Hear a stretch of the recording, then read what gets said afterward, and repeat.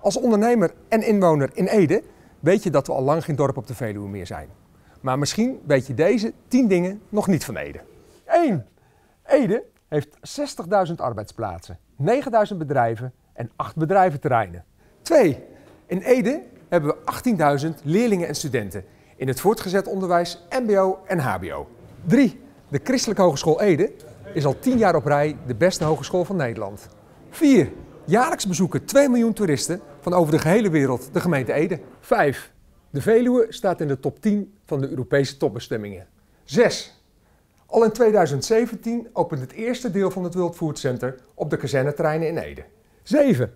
In 2021 opent het geheel vernieuwde station Ede-Wageningen. 8. Ede en Wageningen zijn thuisbasis voor de WePod. Het eerste zelfrijdende voertuig op de openbare weg. 9. In Ede vind je Zoo en Zo. De grootste dierbelevingswereld van de Benelux. 10. Last but not least. Ede heeft 5 accountmanagers voor bedrijven.